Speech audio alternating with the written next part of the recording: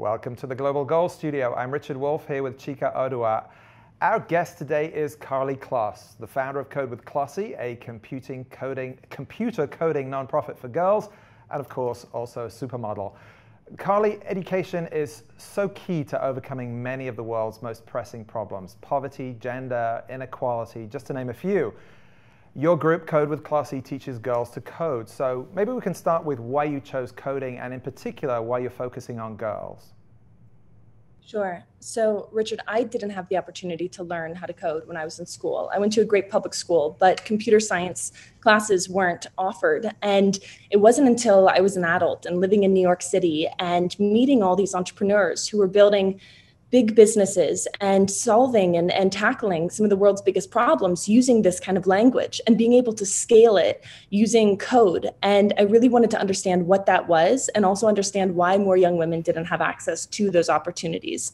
And, you know, for, for me, it's been an eye opening experience, uh, not only to learn these skills myself, but to really recognize, you know, how powerful, you know, they can be when you put them in the hands of young women to kind of tackle the things that they're thinking about and solve kind of the the problems that they're experiencing in their in their lives. And you know another thing that i really experienced uh, when learning how to code was kind of realizing the gender gap that exists. And uh, you know it's it's it's changing but it starts with education and creating opportunities for young women to have access to these skills.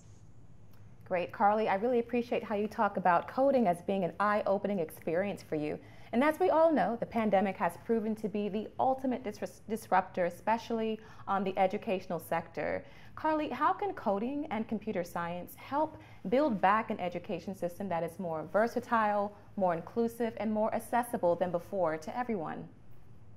Absolutely. So we've experienced this past summer with Kode of Klossy with our camps. By going virtual, we were actually able to eliminate a lot of barriers that existed and able to reach 50% more scholars than we had prior planned you know and we were able to have 2000 young women from 44 states across the country and 20 countries around the world be a part of our classrooms and have access to the the learning and and be a part of our community. But you know it's a, a bit of a double-edged sword. You know we're, we're living in this kind of moment in the pandemic and i have so much gratitude for the parents and teachers who are enabling kind of the virtual learning to, uh, to to happen. But you know, there's a real concern with the kind of digital divide. It's something I think about a lot of just kind of the, the lack of access to broadband or equipment and how drastically that is impacting many many students across the country. Uh, back in the spring, we had you know, of the 55 million students who were uh,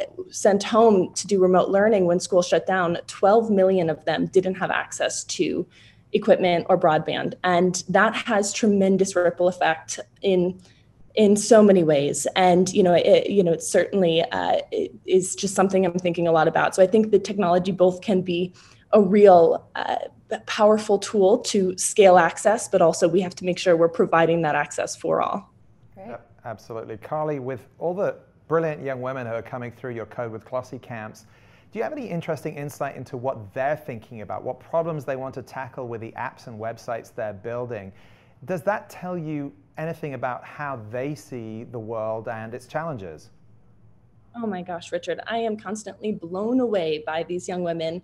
They are so brilliant, they're so passionate, and they're so aware of the power that they hold as young women. I mean, the young women are in our community are from 13 years old to 23. Many of them can't vote, but that doesn't mean they're not thinking about how they can actively participate in our, our country and the problems that they're that they're thinking about whether it's sustainability or gender equality or climate change you know they're thinking about a lot of the same issues that the UN sustainable development goals are focused on. And you know to me it's just i'm so inspired by by them and optimistic for our future because i know that they will be the leaders and change makers of tomorrow Karlie Kloss thank you for what you're doing inspiring the next generation of young women to to be great coders and thank you for joining us here at the global goal studio today.